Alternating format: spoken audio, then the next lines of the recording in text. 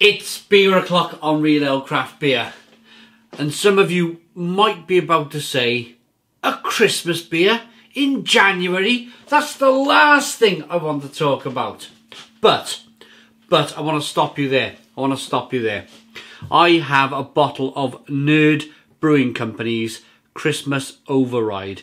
It's in a 330 milliliter bottle. It's coming in at 10.5% ABV and it's been brewed with, it's an Imperial Stout, um, oh, sorry, an Imperial Chocolate Orange Milkshake Stout. Love this brewing company in Sweden, I really do. Um, the reason why I am reviewing it in January is um, we had that whole Brexit thing, didn't we, in the UK? Uh, I'm still waiting for parcels. Oh, that was close to my skin. Um, I'm, I'm, I'm still waiting for parcels from Australia to arrive that was sent on the 9th of December. It's now something like the 6th or 7th of January. It's been nearly a month. And um, this parcel um, from the lovely Hakan in Sweden took about three weeks to arrive. Um, it came, he sent it well enough, with well enough time before Christmas for me to be able to, he put, to, put together a really nice Christmas calendar um, for me to review on YouTube with lovely pictures on and everything else.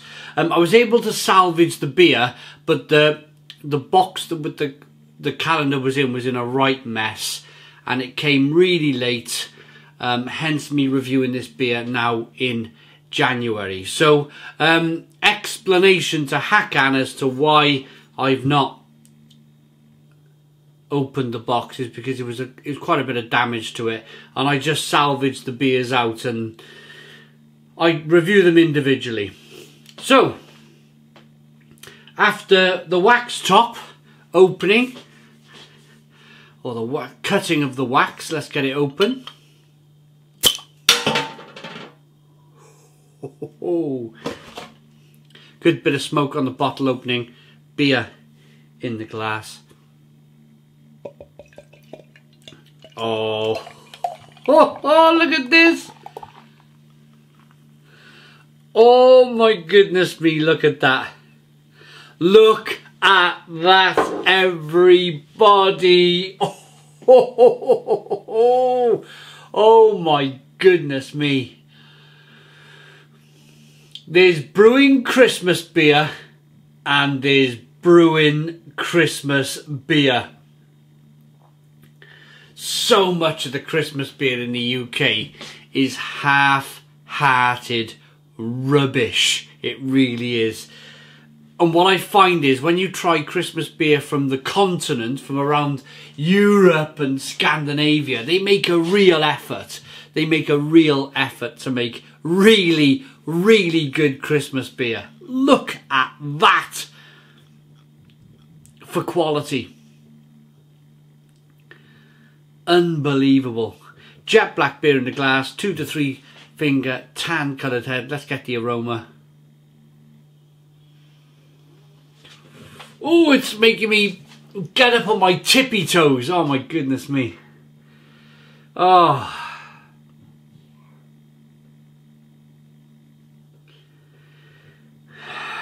Chocolate orange, but spicy. Spicy chocolate orange, orange with raisins and plums and figs and prunes and spices and maybe some ginger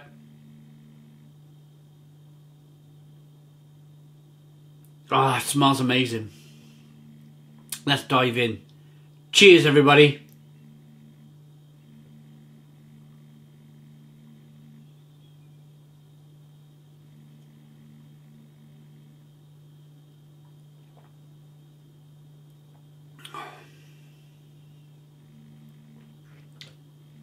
Ooh, very vinous. Ooh. It's a really vinous beer. Lots of plum and fig and prune flavours really, really kicking into the beer. The mouthfeel, the mouthfeel is incredible. Stone the crows. Wow. Big, thick, rich, creamy, oaty, lactosey kind of mouthfeel.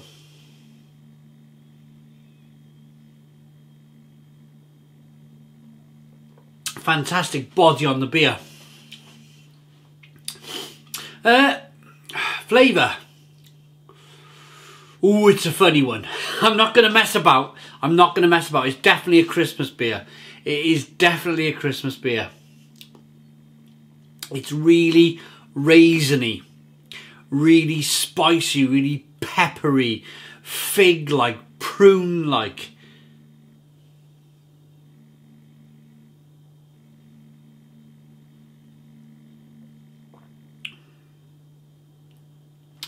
But then there's, it's definitely got that milkshake, that lactosey, milky, creamy, almost custardy like flavour going on. The roasted malt comes through on the back end. It's bitter. It's spicy and bitter on the back end.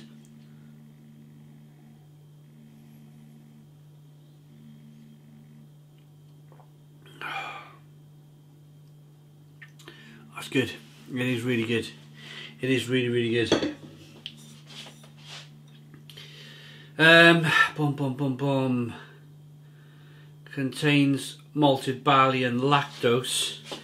And yeah, it's an imperial chocolate orange milkshake stout. It's 60 IBUs. They put in the original gravity, which is 1.142 final gravity of 1.065 EBC which is 150 EBC I think it's, it's the way the, the, the, the colour of the beer what the what the the, the colour of the beer looks like. That's uh, 150 I want to say thank you to Hakan. I want to say thank you. I really enjoyed it. I really enjoyed it um, it was a very different experience from drinking your normal run-of-the-mill, lazy British Christmas beer. That, you know, they put a real effort into that. They put real effort into that beer. And I am ready to rate it. First of all, before I rate it, I just want to get my fingers out of the way. Let me give it a look, you can see the lacing on the glass now, but let me give it give it a rigorous rock back and forth. Look at that. Look at that beer in the glass. Doesn't that look absolutely terrific?